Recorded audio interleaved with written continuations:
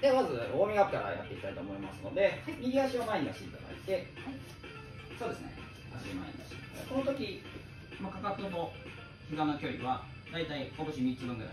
遠すぎないようにしていただいて安定させます。で足の裏しっかりついた状態で前習い。これは背骨のウォーミングアップですね。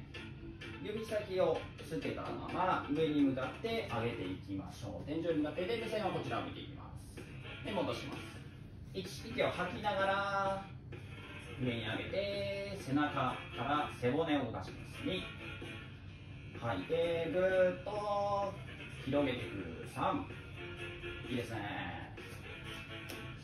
4ラスト。はい OK では右手を横に広げて胸と背中動かしていきましょう。1胸を広げるように動かしていきます。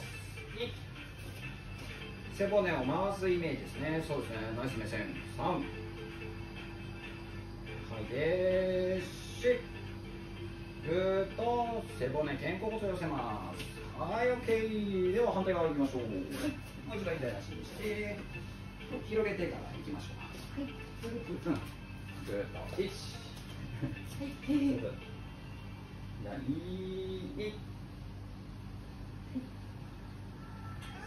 三四寄せていきましょう。はい OK ではもう一度右足に変えて、今度は後ろにお尻を引く形でももの後ろからふくらはぎ膝裏伸ばして左手を前について右手を上に向けて広げていきます。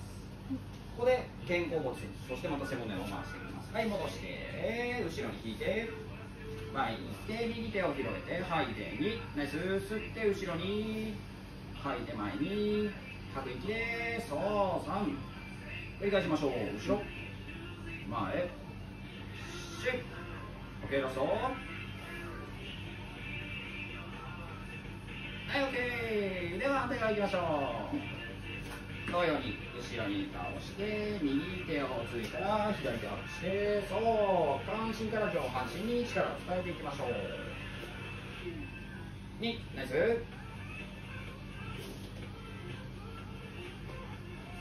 3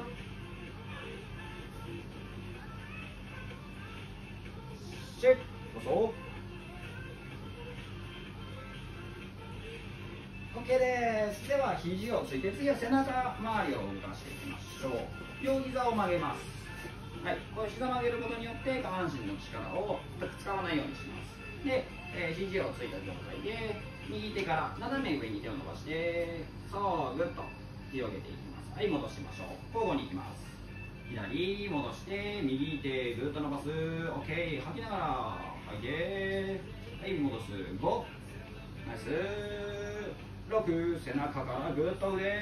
7ナイス。戻して 8OK 9指先見てナイス。ラスト。はい OK 次は股関節ですね。足の付け根を動かしていきましょう。腕が出るような姿勢を見ていただいて、うん、で足を伸ばして右足から手の横に出す。OK1 足の裏をしっかりつけていきましょう。2 3ここ落とさないようにしそう5手の横まで出ない人はこの辺まででも OK です6ナイス6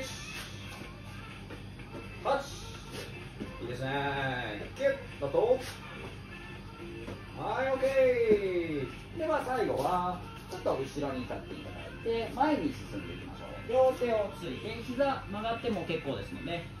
伸ばしてる人はぐーっと足を伸ばしてそのまま前に進んでいきましょう。では手をつきますしっかり手のひらをペタッとつけてそうで前に進んでいきます。いけるとこまで進んで進んで進んで OK 戻っています。戻ってきて。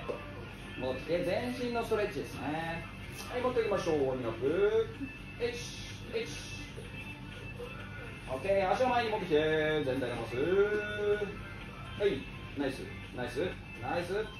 はい OK です。